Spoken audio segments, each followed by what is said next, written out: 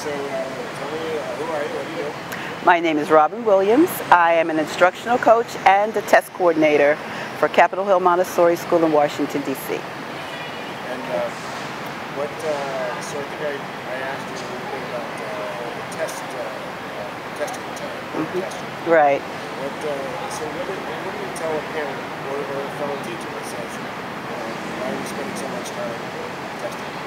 Well, testing is, is really important. I'm one of those people who really likes data, not just for the numbers, but for what it can tell us.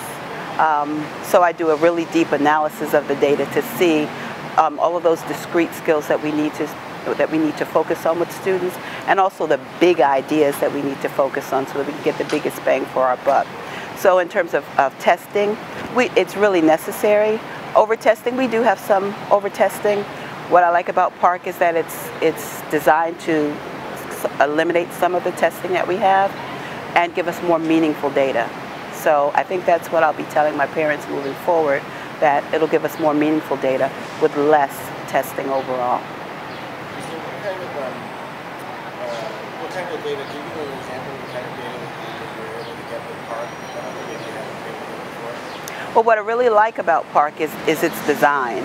Um, it has scaffolded questions. In the past, you used to have just um, random questions on an assessment and then a written part at the end. So now we have the questions that are scaffolded. So it, it really gives a help to students. Um, each question is built on the other question and it builds their understanding. So even if they get a few of them wrong, they still have a general understanding and a, a guide to that PCR at the end where that they'll have to write to. I really like that because it mimics really good instruction. So.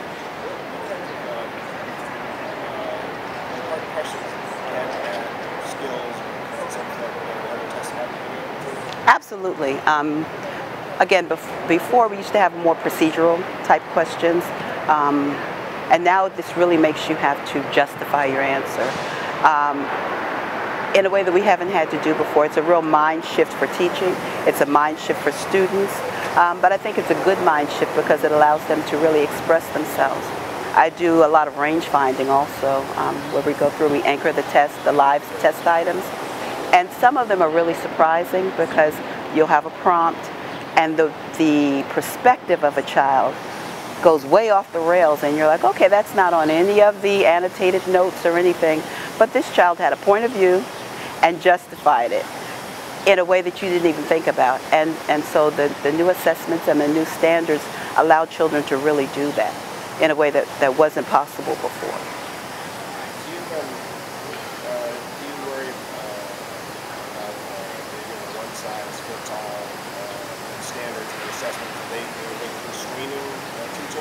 Absolutely not. Absolutely not. I love the Common Core standards because they're not tied to a curriculum. And um, I've been around for a while. and I remember the days of our teacher's editions and they, you, you said this verbatim and you didn't stray from it and this was the, ans- the, the way you presented it and the children were expected to give a particular answer. And with Common Core, you, like I said before, you, it allows students to really think and justify their work. So it's, it's completely not constraining at all. It's very exciting. Okay. What, um, how about uh, teacher involvement? Do you feel like, uh, uh, what are your thoughts about, you know, have teachers get involved in the creation standards and, and, uh, art? Well, teachers were involved in the creation of the Common Core standards, which is which is a shift also, and it's really important.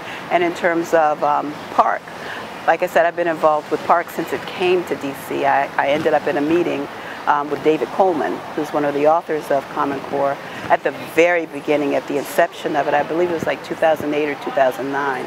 And when he rolled out this new way of instruct of instruction, I was like, okay, I don't know. I don't know how this is going to work where you just kind of let the kids struggle. We're so used to spoon feeding. But then I saw the logic in it. Um, and and it's, it's a really ex- exciting way. And, and so subsequently I got involved in crosswalks and range finding, like I said, and standard setting and um, all of it. So I've been really, as an educator, been involved in this entire process. What I love about it is that they want the responses of educators and they respond to educators. They make the shifts based on what we say on our feedback. So I feel very empowered as an educator. Uh, well, uh, text, do you worry that you spend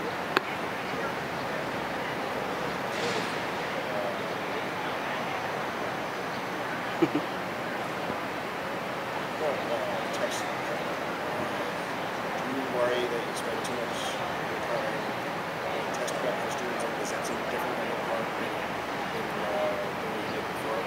So funny you should say that because um, as someone who loves data and what it can tell us, um, I've always been involved in how to help our students be the most successful.